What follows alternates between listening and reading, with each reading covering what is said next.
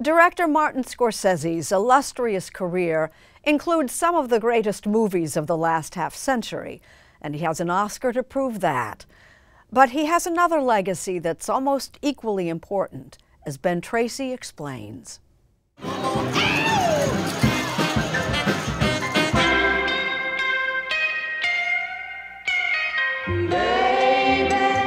Martin Scorsese's meticulous and unsparing approach to filmmaking If we wanted something, we just took it. has made him one of the most acclaimed directors of all time. You can see the difference clearly here. And in his New York screening room, it was quite clear that he's not just passionate about movie making, but also movie caretaking. Here, you see it that now it suddenly comes to life. It's like having a cataract removed Yeah, or something exactly, like that. which I've had done. And It's a restored version of 1955's East of Eden, starring James Dean. the actors come to life when their mm-hmm. faces can be really perceived properly. When if you look like James Dean, you want to see your face. This is just one of the more than 950 films restored with the support of the Film Foundation, which has been essential to preserving cinematic history. It partners with studios and archives to ensure that everything from classic foreign films to Marilyn Monroe's final performance once again look like they did when they were first shot. The foundation was started by Scorsese in 1990 with a little help from his friends. Spielberg, Francis Coppola, we got Stanley Kubrick, but the key figure was uh, George Lucas. Like the plot of many a Tinseltown thriller, Scorsese and his fellow directors realized the threat to the film industry was coming from inside the house. It was film itself. The earliest stock, nitrate film, was highly flammable and could decompose with age. That's a big reason why up to 75% of all silent films have been lost. Its successor, acetate film, was safer but had its own issues, and like many a career in Hollywood, it lacked staying power. By the early 70s, it was decreed that every film had to be made in color. And just at that point in which color became so important, well, the negative stock became weaker, and within six years, whatever prints we could find were faded. And it just seemed crazy. I have to do everything in color, and now the color doesn't, doesn't last. Not, not only doesn't it last after 20 years, six years? Oh, come on.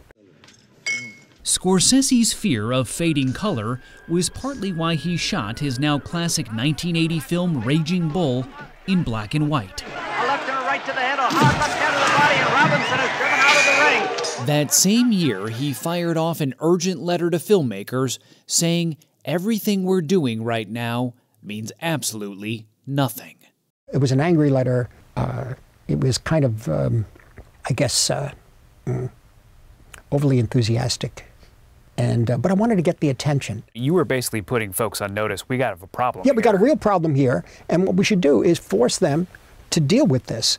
Scorsese led a campaign to convince Eastman Kodak to develop a more stable film stock, and then focused on the studios, worried Hollywood's history was vanishing. The most important thing was being overlooked, and those were the films in their vaults. Saving them wasn't necessarily the biggest priority. Andrea Kalas oversees the archive at Paramount Pictures, our sister company.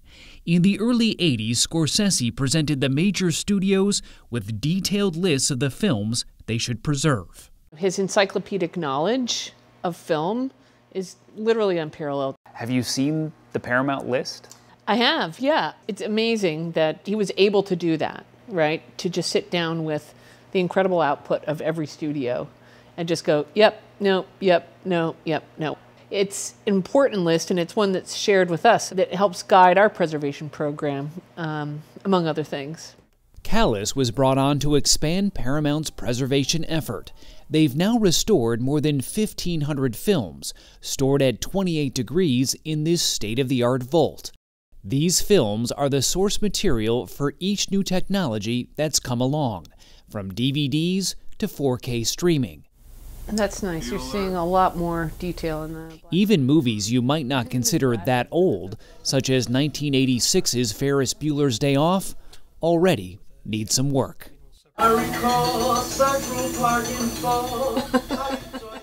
Paramount recently partnered with the Film Foundation to present some of the restored films from its library. Kalas says the foundation has been essential in making sure Hollywood preserves its film past. We always have before and afters in restorations. You know, it looked like crap and now it looks great.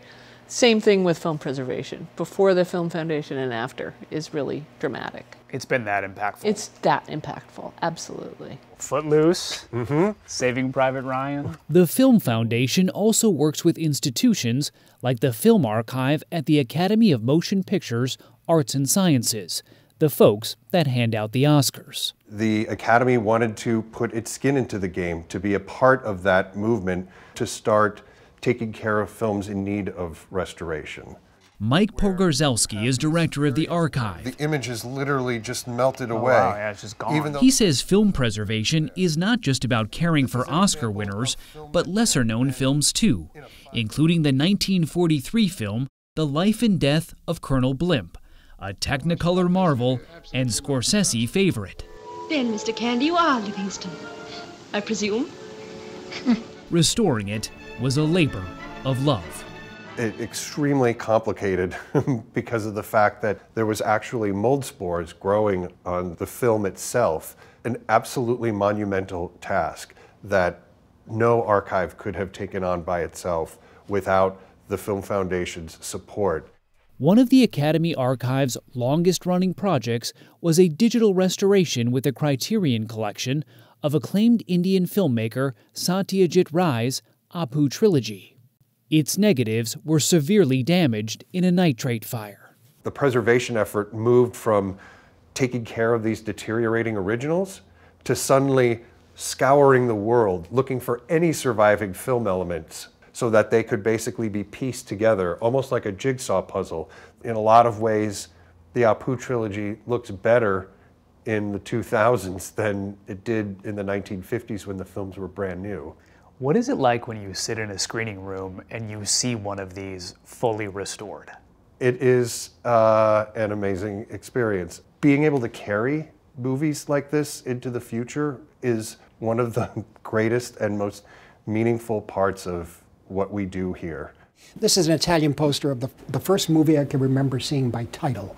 And Martin Scorsese, who has been called the patron saint of film preservation, is likely to be remembered not only for the films he's made, but also for the many he's helped save. How important is this part of your legacy to you? I always thought it was more important. I guess I was more of a teacher than a filmmaker. Hmm. I particularly enjoy younger people seeing these films and whether their reaction is, I, I reject it completely, I hate it, or they become inspired and make some beautiful works of art that enrich the lives of the whole world. This is what we're here for, to enrich each other's lives through art.